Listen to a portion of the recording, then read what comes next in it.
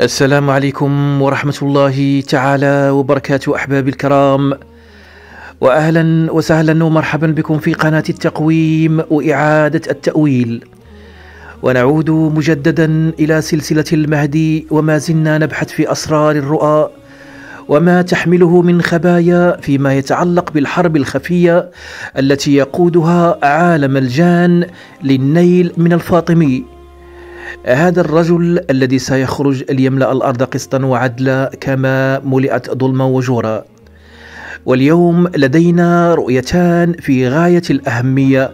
فيهما أحداث تقع للمهدي أحداث مميزة وأليمة بسبب كيد الشياطين.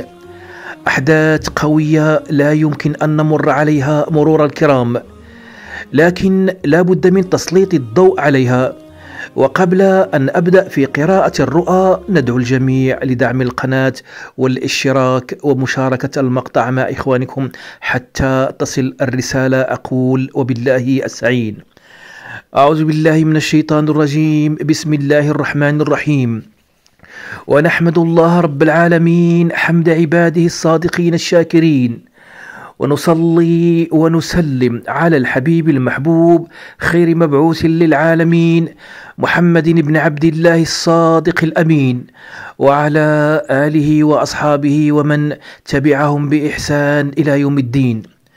رب اشرح لي صدري ويسر لي أمري واحلل عقدة من لساني يفقه قولي.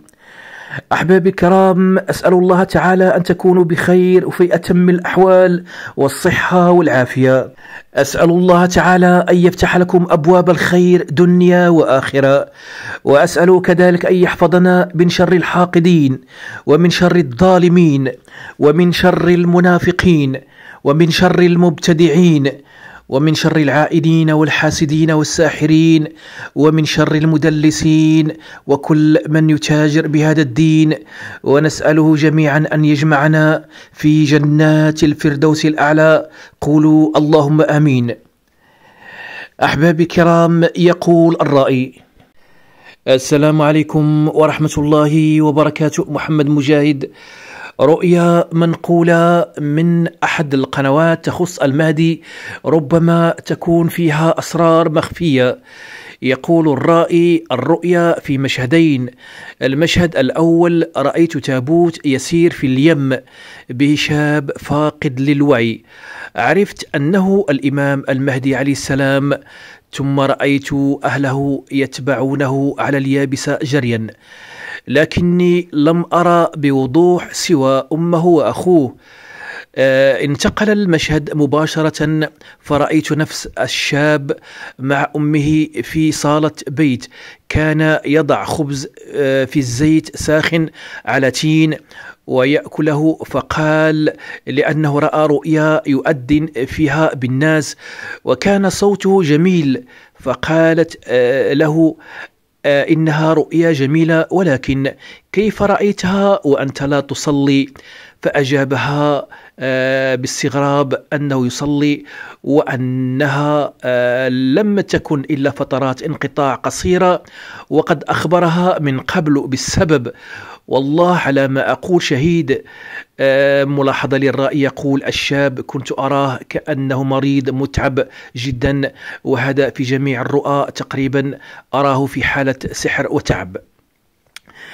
نحتاج لإعادة قراءة هذه الرؤيا أحبابي كرام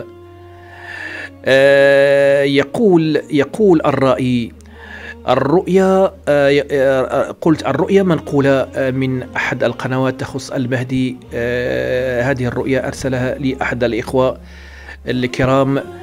يقول يقول الرائي الرؤيا في مشهدين المشهد الأول رأيت تابوت يسير في اليم به شاب فاقد للوعي. عرفت أنه الإمام المهدي عليه السلام ثم رأيت أهله يتبعونه على اليابسة جريا لكني لم أرى بوضوح سوى أمه وأخوه. انتقل المشهد مباشرة فرأيت نفس الشاب مع أمه في صالة بيت. كان يضع خبز في الزيت ساخن على التين ويأكله فقال لأنه رأى رؤيا يؤذن فيها بالناس وكان صوته جميل. فقالت له إنها رؤيا جميلة ولكن كيف رأيتها؟ وأنت لا تصلي. فأجابها باستغراب أنه يصلي ولا وأنها لم تكن إلا فترات انقطاع قصيرة وقد أخبرها من قبل بالسبب. والله على ما أقول شهيد. ملاحظة الرأي يقول الشاب كنت أراه كأنه مريض متعب جدا وهذا في جميع الرؤى تقريبا أراه في حالة سحر وتعب. إن شاء الله تعالى سأعبر هذه الرؤيا بالحق. أقول ابتداء الرؤيا صادقة والرؤيا حق. والرؤيا الحق جزء من ستة وأربعين جزءا من النبوة. وفيها سبعة قرائن. القرينة الأولى ما معنى التابوت الذي يسير في اليم؟ القرينة الثانية ما معنى الشاب الفاقد للوعي؟ القرينة الثالثة ما معنى أهله يتبعونه على اليابسة؟ الرائي يقول أمه وأخوه. القرينة الرابعة ما معنى الشاب مع أمه في صالة كان يضع خبز على زيت ساخن وتين وكان يأكله.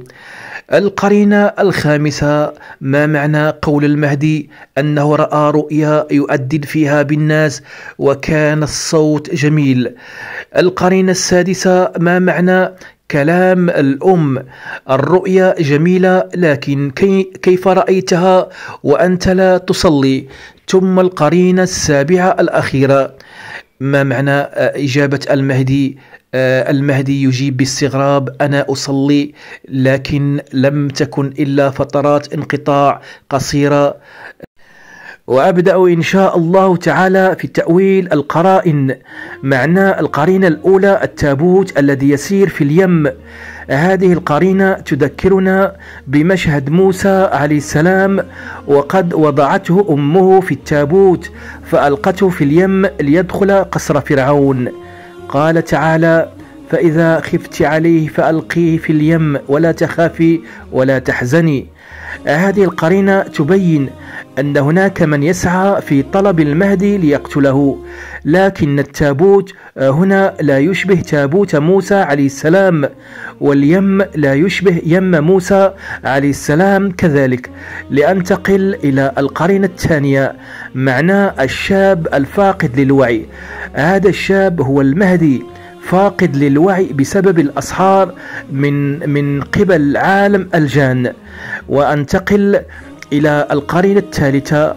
معنى أهله يتبعونه على اليابسة الرأي يقول أمه وأخوه هذا المشهد يذكرنا أيضا بقصة موسى عليه السلام حينما رمته أمه في اليم بعدما وضعته في صندوق وكانت أخت موسى تتقفى أثره وهي تمشي على اليابسة حتى دخل إلى قصر فرعون.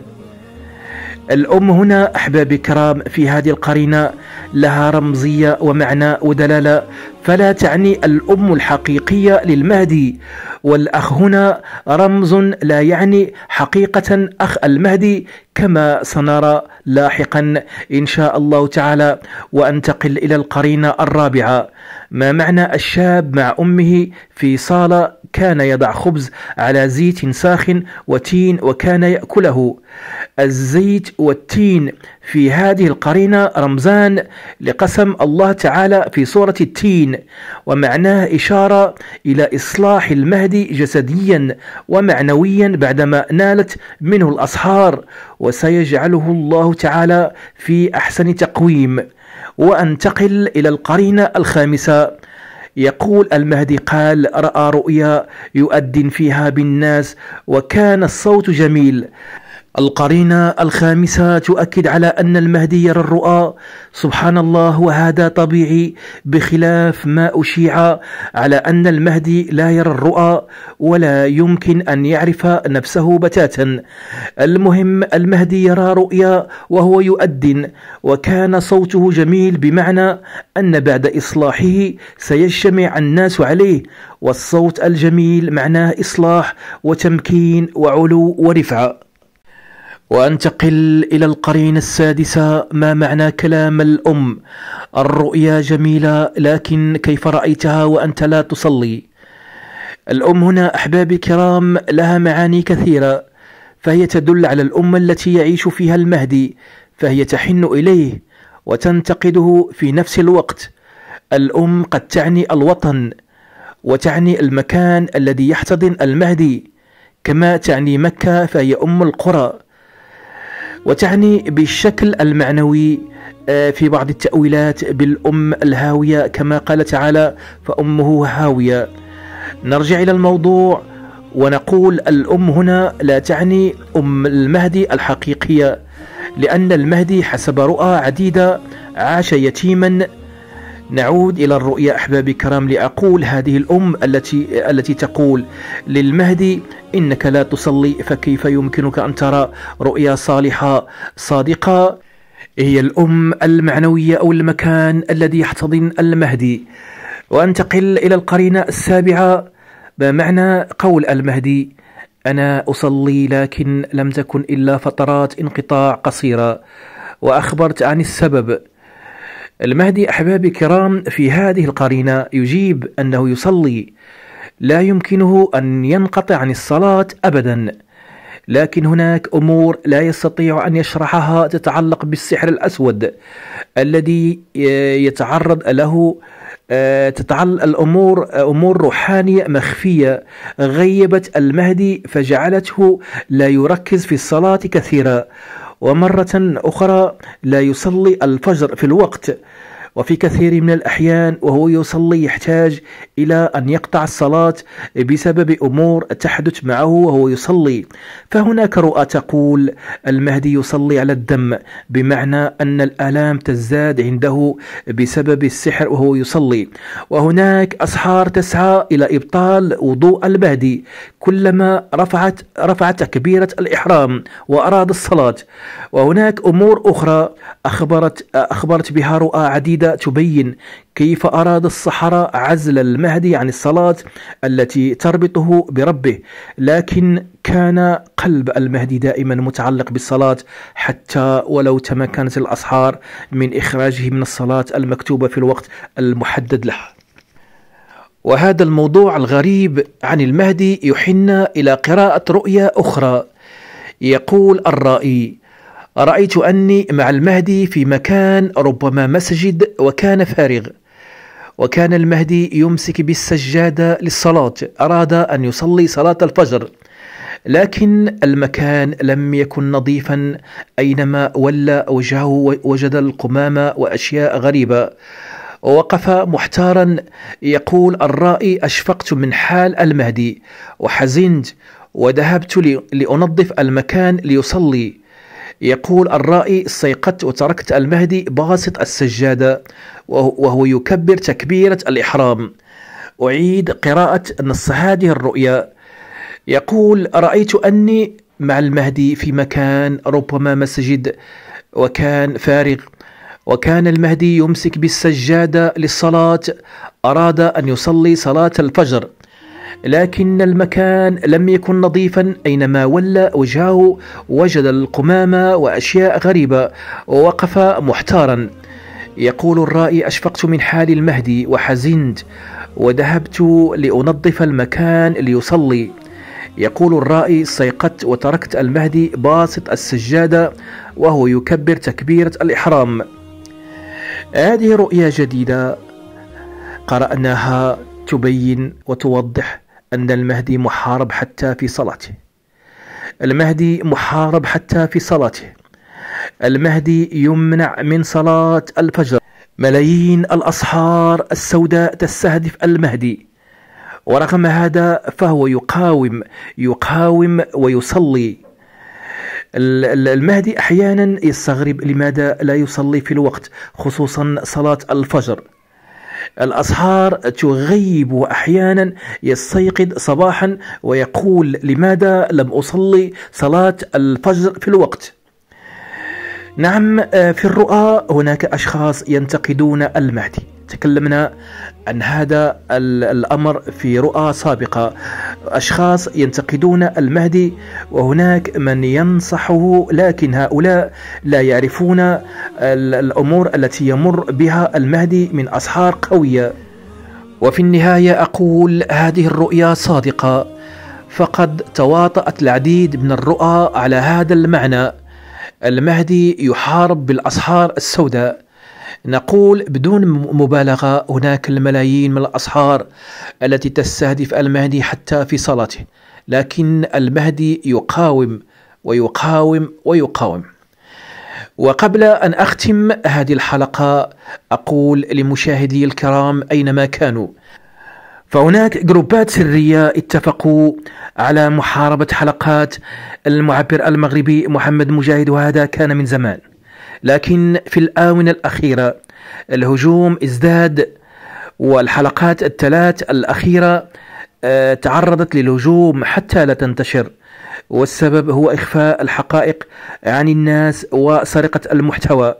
لذلك سأضع روابط الحلقات الثلاث في صندوق الوصف. نعم أحبابي الكرام هذه الحقيقة آه، وقد ظهرت تعليقات سخيفة آه، تنصح المعبر المغربي محمد مجاهد بالاعتزال وكان الإخوة الكرام يسخرون منها. المهم الأمور تطورت فبق... فبدأت تظهر تعليقات آه، تهدد المعبر المغربي محمد مجاهد. يا إما بالاعتزال أو تشويه الصورة وتشويه السمعة ومع الإكراه آه، وغير ذلك. يعني تعليقات آه، يعني تهدد هذه التعليقات آتية من مخابرات تعرفون مكانها يعني في, في, في البلد الجار. وتعليقات من جروبات أو عصابات سرية تهدد المعبر المغربي محمد مجاهد بالاعتزال والخروج من اليوتيوب. وأقول لهؤلاء فهذا التهديد لن يخيفني ابدا. آه، التهديد لن يخيفني ابدا سأستمر إن شاء الله تعالى. حتى آخر دقيقة من عمري. فهذه الدعوة لله سبحانه وتعالى. فمهما مارستم الإكراه المادي والمعنوي المعبر المغربي محمد مجاهد لن يعتزل. يعتزل يعتزل اليوتيوب في حالة واحدة.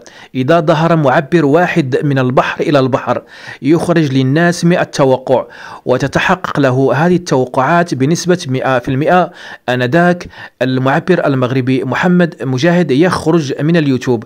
أما وهذا التهديد وسبحان الله اليوتيوب الآن ما فيه إلا التفاهة فارغ المحتوى. فمطلوب أن أكون متواجدا. وأستمر إن شاء الله تعالى في هذه الدعوة المباركة. أقول أحبابي كرام قولي هذا واستغفر الله العظيم. والسلام عليكم ورحمة الله تعالى وبركاته.